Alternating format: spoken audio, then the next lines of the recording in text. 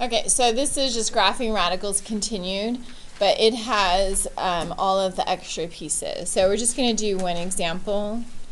Uh, so we have to sketch the graph.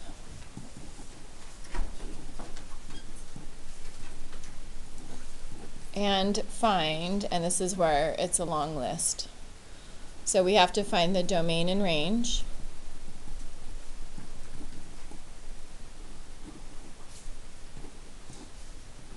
The x and y intercept.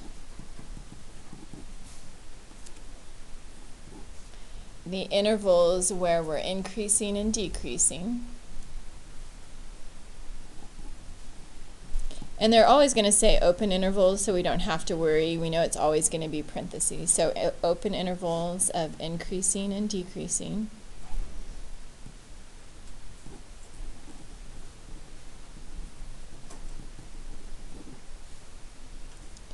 And then finally, the um, open intervals of where your graph is negative and or positive.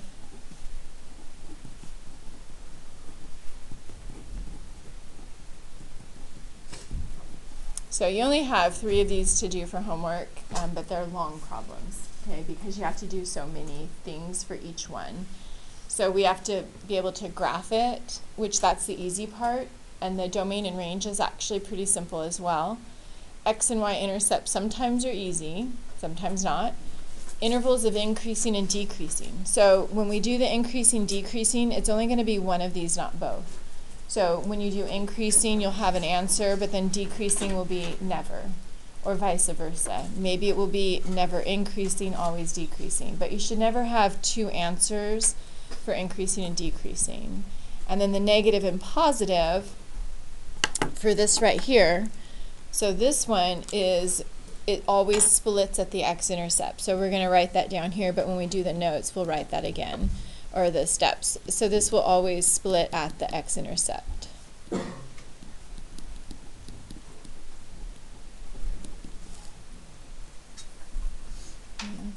So we're just going to say that for this part for right now so that when we actually do the problem, we can talk about it and go right back up to it.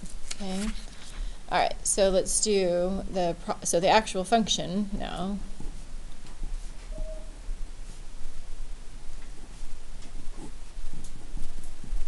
Okay, so there's our equation.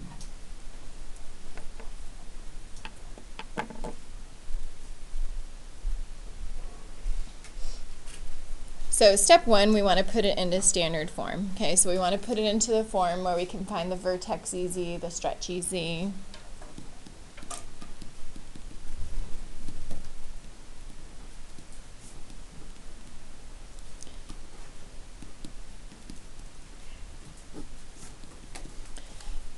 meaning um, if there's a straggler number, right, we want to move it over to the y, and f of x is the same as our y. Um, and then if we don't have one, we know then it would just be 0. Okay, so that's going to be our first step. So for us, then, do I move the 3 over, or am I going to move the 2 over? Like, which one is the straggler number? Which one's the stretch? Okay, so let's see here. Um, Travis, which ones are a stretch? The 2 or the negative 3? Negative 3. So that means I need to move the 2 over. So I'm going to subtract 2 to the other side, and I'm going to rewrite f of x as y. So that will be y, and then I'm subtracting the 2, and then I still have negative 3, and then x plus 4. So we already know how to graph, so we're going to graph this together. So we're going to put into standard form. So to graph it, we're going to find our vertex.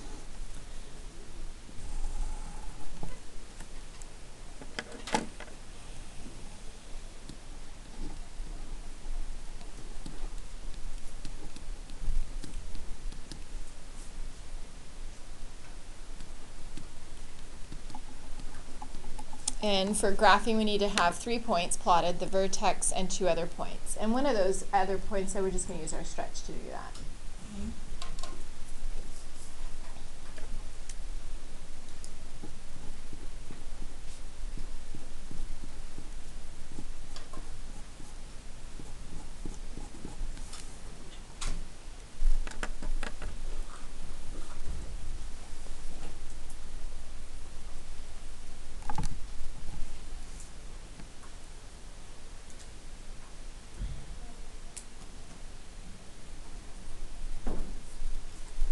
Okay, so um, for our vertex aquia, is it four or negative four? Two or negative two? Okay, good. So.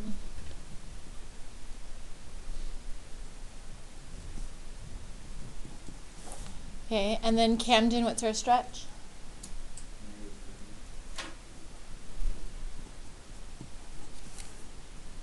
So how do I use my stretch now to find another point? So from here, I'm going to do what?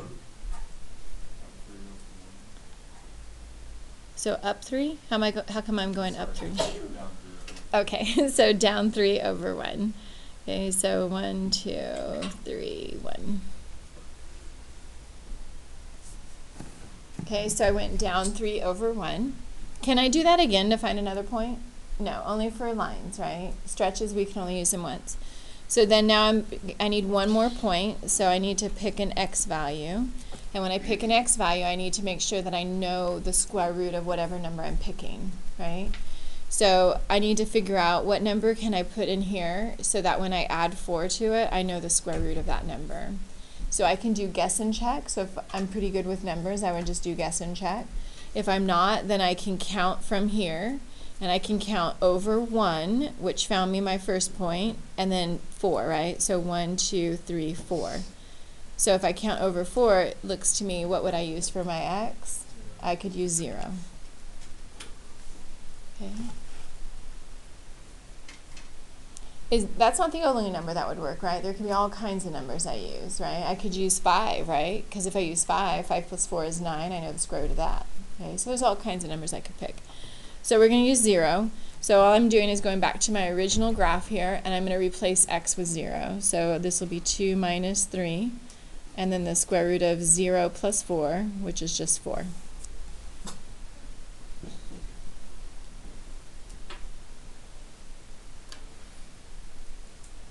Okay, and then Cameron, what's the square root of four? And then what is three times two? Okay, good. And then two minus six? Okay. So then I'm going to go over zero and then down four. One, two, three, four. And then connect, so from my vertex through the dots, right? I don't want to go the reverse way. I want to start at my vertex and then go through the dots. So start at my vertex and then through the dots. And then this should be a negative parabola, right? How come it's a negative parabola? It has a negative stretch, right? So that means it reflects across the x-axis. So there's my graph. That's the part we already know how to do. So now we have to do the new stuff, right? We have to do domain and range. So domain is left to right. So where does the graph start on the left? Where does it stop on the right? And then the range, bottom to top. How low does it go? How high does it go?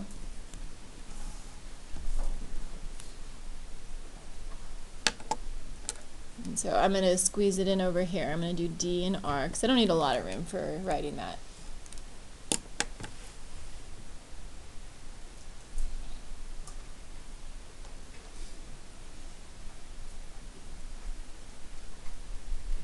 Okay, so Sal, you're going to help me with this one. Okay. The domain. Okay, so where does the graph start on the left? At what number? Negative 4. Where does it stop on the right? Um, Good. So it starts at negative 4 and it never stops. And then it's equal, right, at negative 4, but can't equal infinity. Okay, good. Okay, and then now let's do our range. All right, so John, this John here, you're going to help me with the range, okay? So range is bottom to top. So negative infinity because it's going down forever. And then how high does it go? Hmm. It stops at 2. Good job.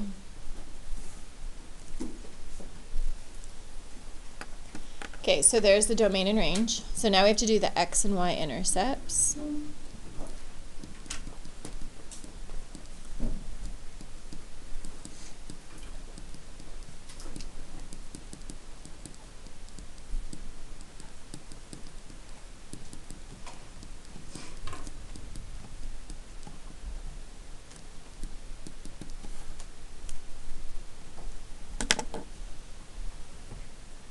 Okay, so for our x and y intercept, we let y equal 0 and we also let x equal 0.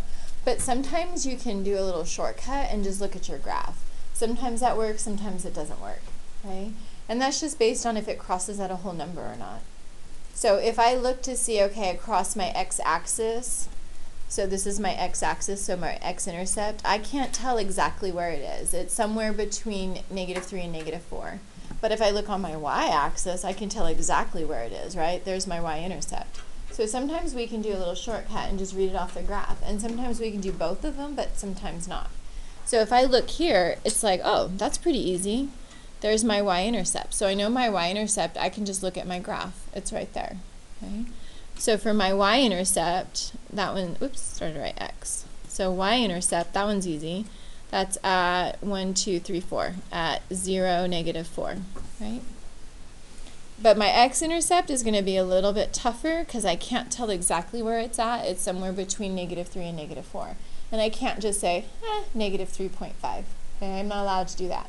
If I can't figure it out and I write that down, I'll at least give you a little bit of credit because you knew where it was. You just couldn't find it exactly, which is fine.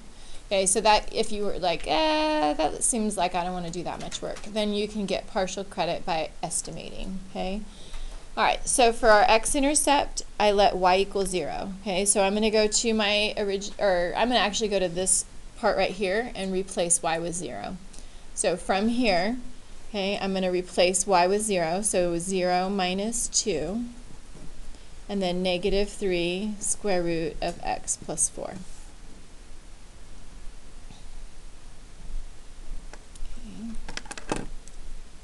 So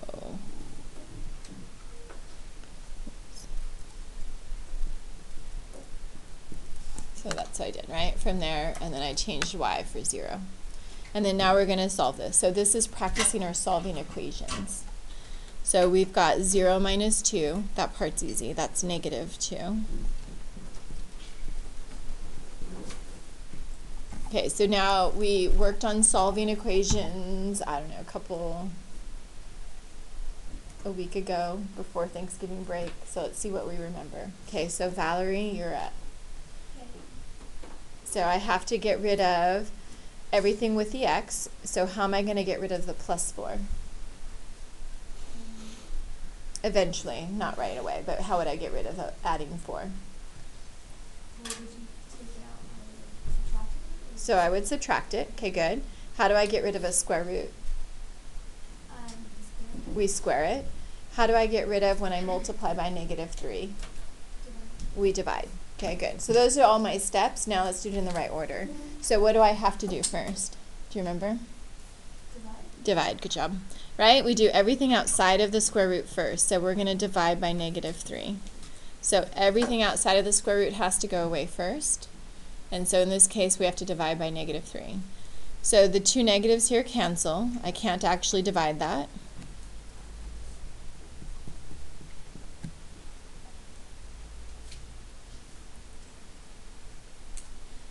And so then now you said to get rid of the plus 4, I have to subtract it. To get rid of the square root, I have to square it. So what do I do next? We square it. Good job.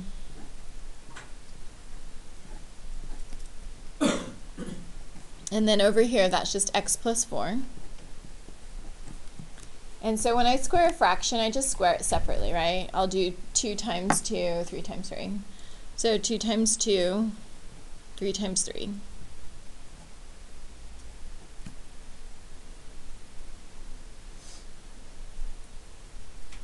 And then finally my last step, I have to subtract 4. Okay.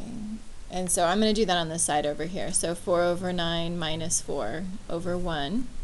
And then I have to get a common denominator, right, when I subtract fractions. So I would multiply by 9. 4 times 9 is 36 all over 9. And then, what is that, negative 32? Is that right? Did I do that right? Okay, thank you. So there's a fun little x-intercept. And you're going to get those occasionally, okay? But we still need to be able to do that. So if the fractions are giving us grief and we just write it as 4 ninths minus 4, that's okay, right? If we don't want to deal with having to add or subtract fractions because these problems are so long anyways, like that's okay. Okay, so we are almost done. Okay, so it doesn't feel like it, but we are. Okay, so I'm going to have to um, look back up to the top here. So let me zoom out. I know it's itty bitty, but we want to be able to see all this other part right here. So now for our x-intercepts, y-intercepts, that's the hardest part probably. Graphing's not bad. X-intercepts, y-intercepts can be brutal. Um, domain and range is easy, right? Reading the graph left to right, bottom to top. The intervals of increasing, decreasing, also piece of cake. Okay, so now we're going to do that next. So for increasing, decreasing, it can only be one or the other, right?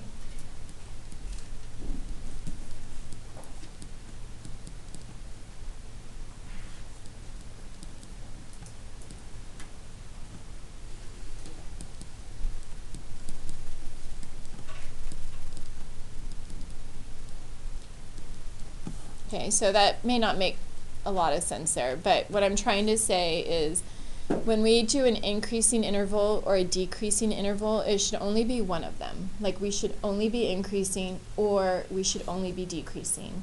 and then the other one we just say never on. So it, there should never be like an answer for increasing and also an answer for decreasing. Okay, so I'm not sure if that makes sense, but that's what I'm trying to say there on that step. Okay, so Haley for this one right here, so we go from left to right. So from left to right, am I increasing or decreasing? I'm decreasing, okay? So we always go from left to right.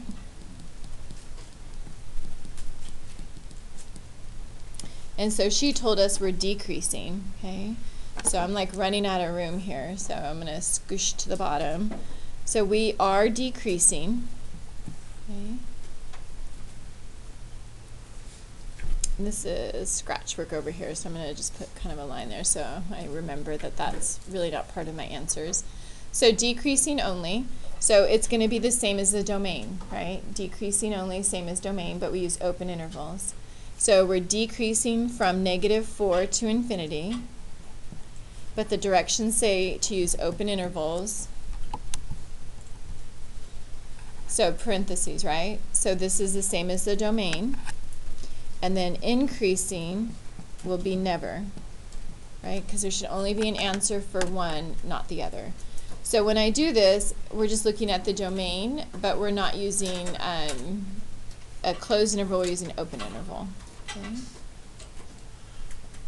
All right, last one here. So last step, so I know I'm going up and down here. Open interval of negative to positive.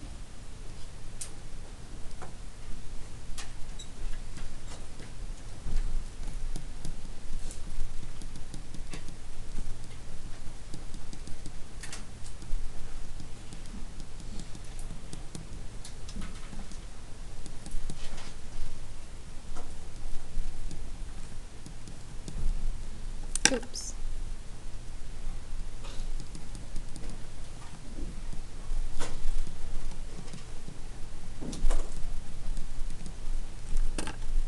Scoop that up so you can see what I'm writing here.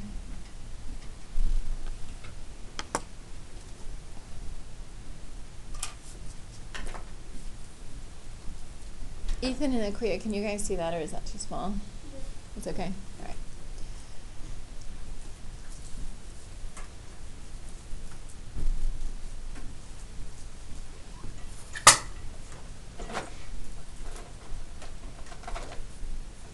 Okay, so above is positive, below is negative. So what I mean by that, I mean when am I above the x-axis, when am I below the x-axis? And it's always at the x-intercept where we split it. So if I go right here, right, if I go to my x-intercept, when I am above the x-axis, that's when my graph is positive. So everywhere above is when I'm positive, so it splits at the x-intercept and everywhere below is when I'm negative. So at the x-intercept, which is right here, above is positive, below is negative. Okay. Now, it's possible that you won't have an x-intercept, right? Because what if you have a graph that does something like this, right? You wouldn't have an x-intercept, so then it would be positive everywhere. So it's possible you're not going to have both, but most of the time you would just split it at the x-intercept. Okay, so when I do my positive, so I'm going to do it below here, so I have enough room.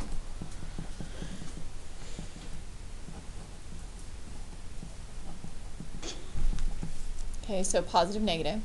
So positive is when I'm above, negative is when I'm below. So from left to right, so this dot is at negative 4, right? So I'm at negative 4 on the x-axis.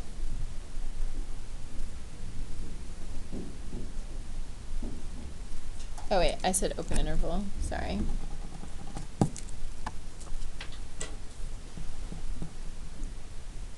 Okay, so I, in the directions I said open interval. I can't remember if the homework directions say open interval or not, so we'll, I'll check that here in a second. So negative four, and then it splits at the x-intercept. So my x-intercept I have to look is down here, right? So here's my x-intercept, that's where it splits. So from negative four to negative thirty-two over nine. And then my negative starts where I left off, and I left off at the x-intercept, which is negative 32 over 9. And then I have to look when does it stop. Okay. So when does it stop? Never. So I'm going to not use the word never, I'm going to use infinity. okay. And there we go. Okay? And that, my friends,